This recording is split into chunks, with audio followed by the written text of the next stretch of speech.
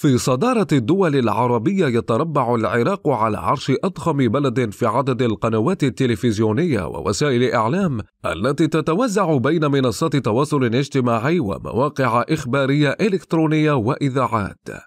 إحصاء مؤسسة بوابة العراق للبيانات الرقمية أظهر وجود 57 محطة فضائية في العراق و138 إذاعة إضافة إلى 65 مكتبا لمؤسسات إعلامية منها وكالات أنباء وشركات إنتاج محتوى إعلامي.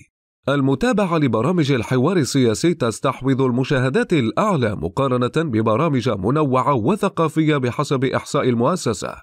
يتجاوز عدد وكالات الإعلام المسجلة حاجز الخمسمائة موقع جميعها بحسب الإحصاء تتبع جهات سياسية معروفة ما بين أحزاب ووزراء ونواب. تصل بعض المبالغ التي تنفقها محطات فضائية إلى نحو خمسة ملايين دولار سنويا فيما تصل ميزانية محطات أخرى ما بين مليون ونصف المليون دولار سنويا.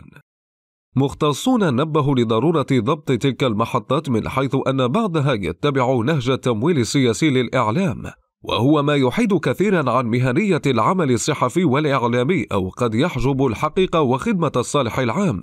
إذ تقترف بعض وسائل الإعلام خطر التضليل أو الخوف من الدخول في قضايا وتحقيقات. نظرا لوجود جهات سياسية تقف مهددة بالمرصاد لمنصات إعلامية قد تبحث عن معلومة حقيقة هنا أو هناك.